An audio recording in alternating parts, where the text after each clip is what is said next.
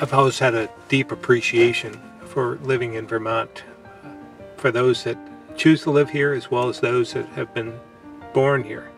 It means uh, being a Vermonter means that you're fiercely independent, self reliant, frugal. We make the most out of everything we have. We're resourceful, but compassionate of those who need our help. It's uh, about being a public servant. It's really important to listen. I've made my whole political career on that. My ability to bring people together, consensus building, and to connect with everyday Vermonters. Listening to people, listening to their concerns is half the battle because their frustration arises when they don't think anybody hears them. Trust and integrity are very important. Vermonters are yearning for that again. They want to trust their government. We have a responsibility. When we can invest in ourselves, when we can become more independent, it's a powerful tool for our future.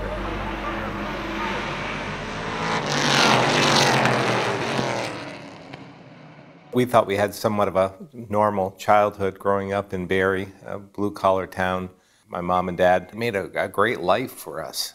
And my dad, truck driver by trade before he went into World War II, was in a wheelchair. He was a double amputee. He'd play catch with us, uh, would mow the lawn, uh, get into the station wagon, head off to work. It was just part of our normal life. My dad passed away when I was 11. And I reflect now about how difficult that must have been, how strong my mother had to be, was forced to be at that time. Overnight, she becomes a single mom with three rather rambunctious boys. She's a, an incredible person. She comes from deep, independent roots herself. We were fortunate.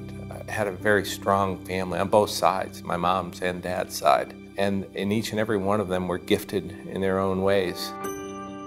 So I'd look at my dad. He was a Shriner, a Mason. It was just a, a, deep sense of respect that he had for others. And my Aunt Mary was an incredible human being, one of the first select women elected in Vermont. They didn't have to talk about public service. They were public servants their whole life. It's that work ethic that was uh, ingrained in, in all of us, that we got to work hard uh, in order to, to survive. We all have a responsibility to give back to society in different ways. And we all have a pathway to do that. We just have to find it. I believe I'm the right person at the right time in order to lead Vermont in a new direction. When we think about building a better Vermont, when we think about building a better economy for everyone, it's about teamwork. I've made it a point to listen to Vermonters, listen, learn, and lead. Building that consensus is something I, think I'm very good at. I, I'm able to pull all sides together. I'm able to find common ground, find areas that we can work together in order to make something better, to solve a problem that's before us. There's a, lot of opportunity in Vermont. We have an incredible story. We need to make Vermont more affordable, create an environment that's conducive to growth, economic growth in order to help each and every Vermonter.